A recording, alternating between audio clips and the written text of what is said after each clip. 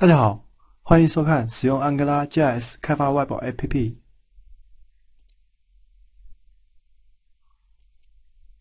这一课我们学习终极篇的指令详解三，使用例子来说明指令的用法，欣赏代码实例指令的一个简单总结。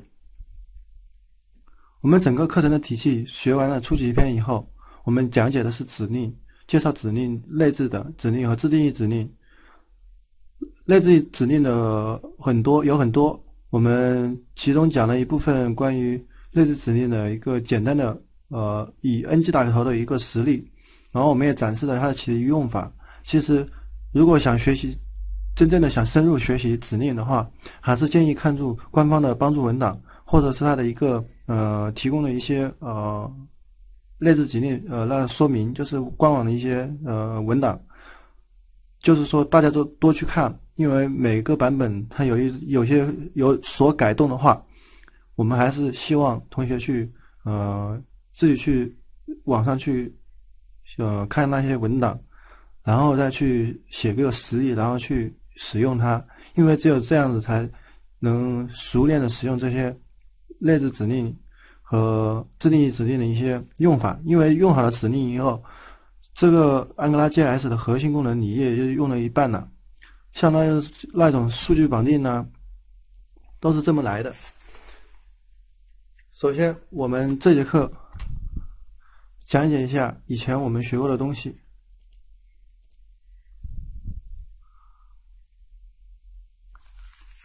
我们开始的时候讲过指令，我们讲过第一一堂课，或者是嗯，在初级篇的时候，我们讲过的是数据绑定。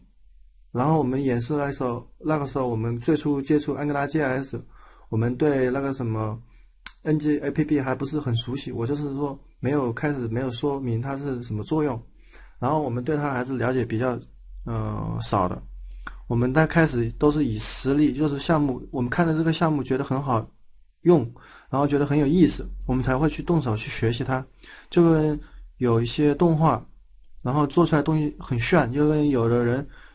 嗯，玩游戏一样。那比如说雷电那些战机，那些游戏，嗯，做出来效果很酷。然后觉得，哎，要是我这样子做一个这种雷电的一种游戏，应该是不是很炫呢？就是觉得有自豪感，因为自己要是动手做一个游戏，或者是做一个网页出来，或者做一个 Web APP 出来，这样的话就有成就感。好，我们回归到正题。我们学过作用域、控制器、控制器，嗯，还有指令的简单介绍。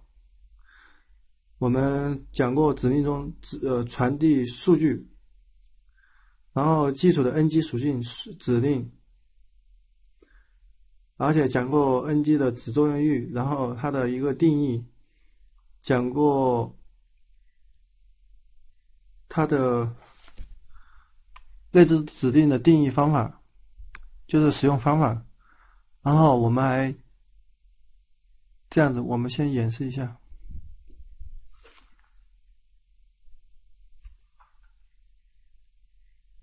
这是我找的一个资料，它并不涵盖所有的 ng 打头的内置指令。其实我们做一般的项目，其实使用 ng 就是内置指令。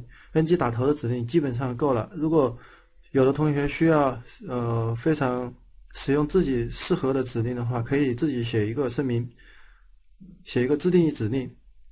但是我们这堂课就是首先让大家回顾一下我们学过的哪些指令，这些 if class，然后 show style change check copy focus mouse down mouse move 这些还有 submit。像这种，我们已经在前些前面的一些例子讲过，什么 ng check，什么 open read only select 这些。对了，这个地方我们最重要的还是这，其实其实要是经常维护的话，维护项目的整个呃性能，我们还是建议我们使用这三个属性，把原生的 HTML 的 A 标签和图片的地址全部换成这种，因为它们这。在项目中使用大量使用这种属性，可以方便后期维护。所以说这个地方也请大家注意，最好就是使用这种。但是你要是用不好，当然当然会把你自己也坑到了啊！这个 有利必有弊，哦，有利必有弊，是吧？好，接下来我们来看一个实例来，嗯，希望希望大家这种勾起那种非常就是以实例开头，勾起大家的那种学习的欲望。你看，好，你看这个我们有什么变化？我们把它缩小，这样子可能看到变化了。我们注意一下，这是根据这是根据行来变的，我们每一行，这是根据列来变化。你看右边的那个列，是不是？所以说这个我们学习的，嗯，这样的话，我们可以在一些什么区域选择，然后可以使用这种样式，我们可以很方便。如果点击了它，我们就可以改变样式。在项目中还是比较实用的。其实它的代码量其实很少。我们来看一下，你看整页没有什么代码。这个我们把它写到这个里面来，没有声明一个 JS 专门去装它。我们来讲解一下。首先使用呃 Web APP 来声明它的 ng APP 的作用域，你看，然后它就是一个 default control。因为这个 control 就是声明它的一个作用域，你看这个方法的作用域。好，然后我们再来看一下，这是它声明的一个属性，然后 to do as 把它 for 循环出来了，就是 ng repeat。你看，我们这个地方是把 QoS 这种传上的方式，我们这个地方就给它演示了一下，这个数据是通过这个属性来传 scope。传递过来的，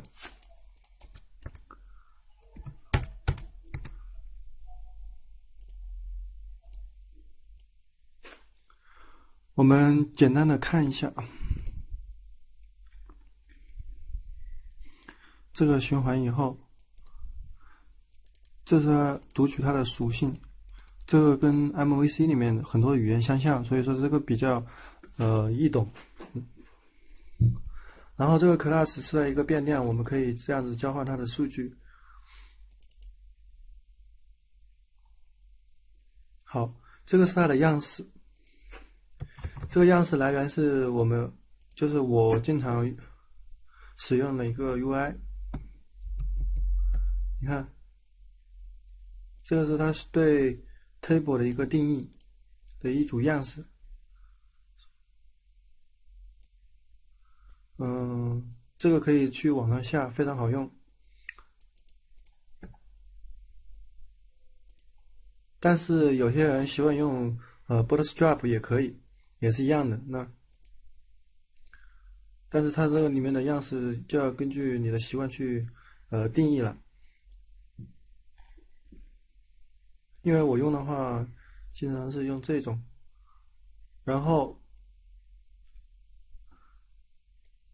这个地方是给它的样式的定义，这是它的变量，我们来可以进行传它的一个呃参数，这个很容易理解。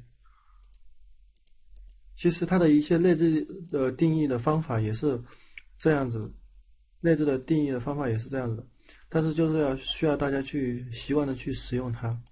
然后还有一些呃例子就是什么呢？去的就是说这一边。